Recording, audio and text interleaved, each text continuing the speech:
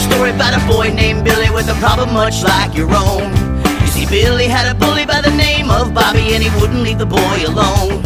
Now, Bobby came around every day around now, making Billy really scared and blue. It's so sad and silly, but Bobby bullied Billy till he didn't know what to do.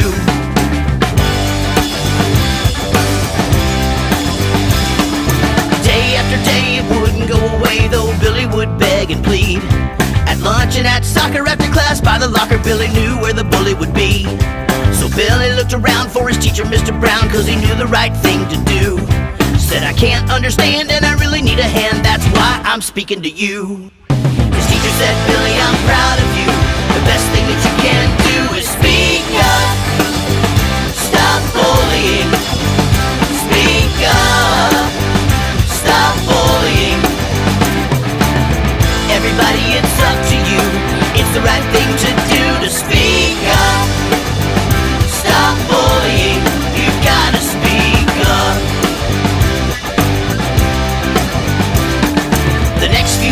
Bobby changed his ways. Billy thought his bully bother was gone.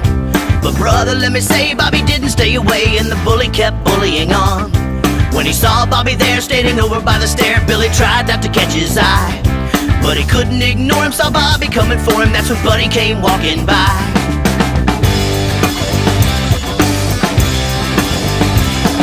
He walked by still, he thought he noticed poor Billy being bullied there in the hall. The scene, it kinda threw him, cause Buddy he knew he better get involved. But he stepped up, said, I hate to interrupt, but I believe that you could use a friend. And being there together made Billy feel better, Bobby wouldn't bully Billy again. But he said, Billy, I'm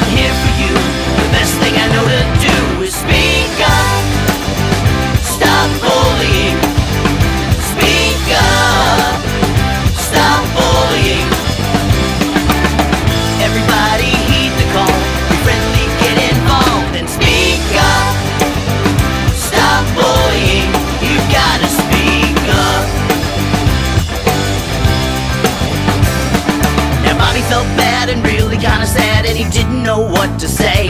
He told Buddy and Billy that he really felt silly, he'd been bullying Billy that way.